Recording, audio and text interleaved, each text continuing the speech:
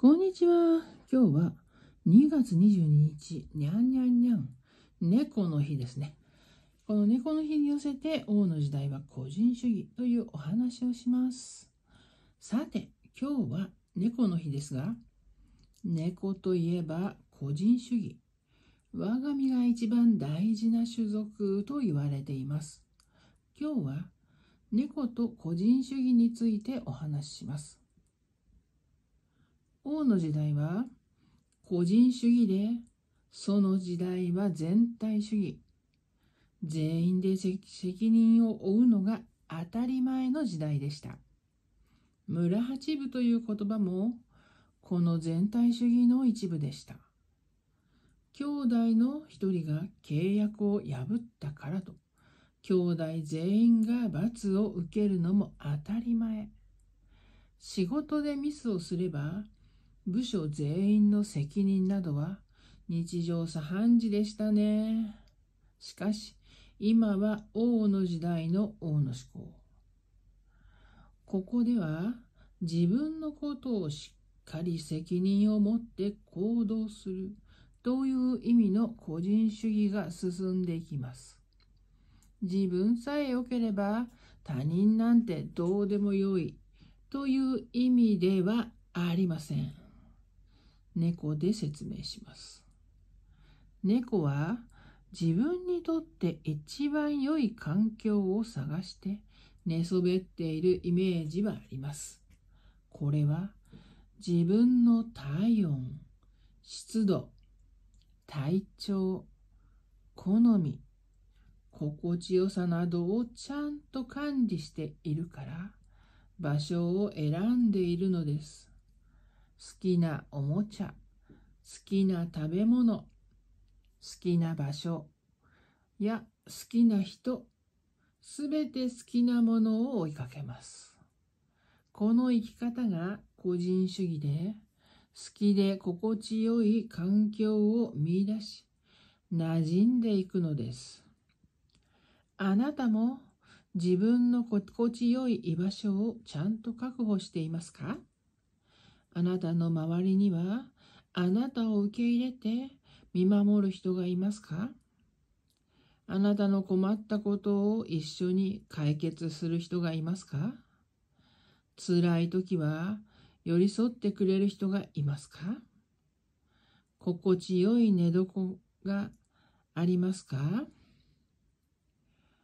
これらをきちんと整理して不要なものを切り必要なものを選別して次の長い人生で学び続けて根色を突き詰めていく。これが今から始まる世界に必要な生き方です。まとめ。猫の時代なのは王の思考が猫寄りだから。あなたの中の個人主義を再度見直そう。はい、今日はこちらお話ししていきます。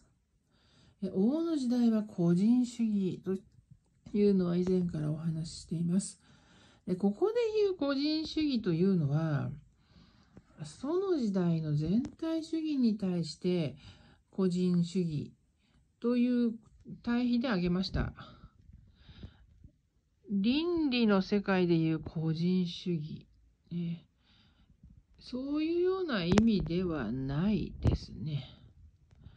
個人主義ちょっとネットで引くと、個人の意義と価値を重視し、個人の権利や自由を尊重する考えなんね。ルネサンスや宗教改革を経て個人の価値が自覚され、さらに近代の資本主義の発達により個人の自由競争を重んじることから広く定着する。まあ、こういうことが言いたいわけではないですね。人権だのなんだのいろんなことが出てきちゃうんでね、個人主義っていうと。こういうことではなく、自分を中心として周りを対等にものを見る。全体の中の自分、全体に全てを合わせる全体主義の中の一部というものに対して自分が中心で自分を中心に据えた時周りを、えっと、対等に考えていくというね。全体というものは見ない。見る必要がないというね。協調性は大事だけど全体のためにこう自分を犠牲にすることではないですよという意味です。はい、個人主義の説明はここまで。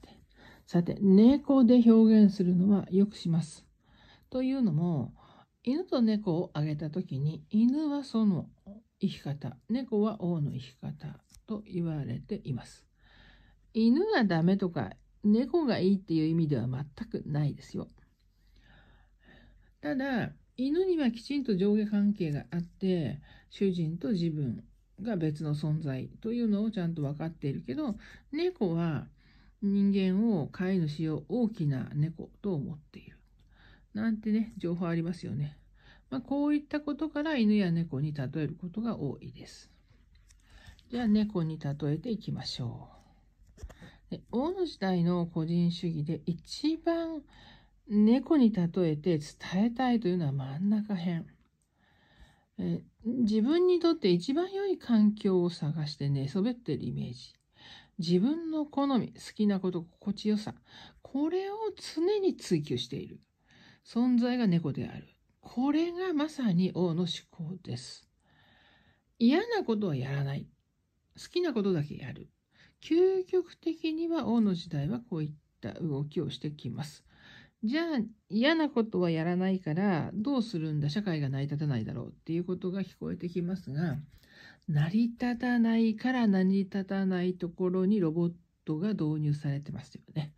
アマゾンの倉庫でかなり機械化が進んでいてたまにあのネットでやってますが物を選んで24時間フル活動のロボットが今年は導入されていくって聞きました。これがまさに人ができない、やらない、人手が足りないところをカバーしていく形です。だから、猫が嫌だなと思うことは、ロボット化してロボットがお世話していくんですよね。そのうち、猫のトイレも猫のご飯も全部自動化されていきますね。人がやらなくなっていくでしょう。まあ、ただ、猫と関わることが好きな人はね、自分でやるとは思いますよ。まあ、これはちょっと話がずれました。ということで、あくまであなた自身が心地よいというものをまず選んでいきましょうというのが猫の日に寄せてのお話です。で、これ、猫の日だからこそ考えてほしいと思うのは、全部を好きなことだけにできるわけがない。これはまだ祖から王への移行期の特徴です。ただ、その時代よりも好きなことが増えてるはずです。好きなことという表現が難しければ心地がいいこと。楽なことでいいです。今の時期は楽しいより楽を優先してというね、話を聞いてきました。楽か好きかを選ぶとき、どっちかが対立したら、好きではなく楽を選んでくださいと言われましたね。好きで難しいのであれば、楽で簡単な方がいいと言われました。だから、楽を選んでください。で、楽な生き方をするというのを常日頃お話ししてるんですが、楽を選ぶと自分は損をした気がする。または自分は、損をしたじゃなくて、なんていうのかな。ズルをしている気がするとかね。怠けてる気がするというね。こういう発想を持つ方がいます。でもこれは間違いで、ズルをしたいとか、楽をしたことによって、誰かに迷惑をかけてるんだったら話は別ですけど、洗脳されてきちゃってる。うん。簡単なことと、まあ、楽なことですね。難しいことがあったら、難しいことを選択しなさい。苦しみなさいという洗脳を受けてきたと考えてください。だから、私たちは、まず、いかに目の前の問題を楽に簡単に片付けるかということの思考に切り替える必要があります。だから、難しい道を通って反対側に行くのではなく、どうやったら楽に反対側に行けるのかというのを考えることこそ今必要なこと。どうやったら一日を楽に暮らせるのか。楽に暮らすためにお金がかかるのであれば、お金をかけて楽に過ごしてください。というのも、お金を貯めるということ自体が、以前のその時代の苦しみを溜め込むというね、発想なんです。例えば、やたらと取っときたい人っていますよね。ちょっと知り合いにも、溜め込むの大好きで、この間も喜んで自慢してましたが 溜め込むのは、素の発想ですからね。まあ、あの、溜め込んで消えなけりゃいいなって彼を見て思ってましたが、貯めるということは何かの時に全部なくなる可能性があります。きちんと使って生み出してまた新しいものを入れる。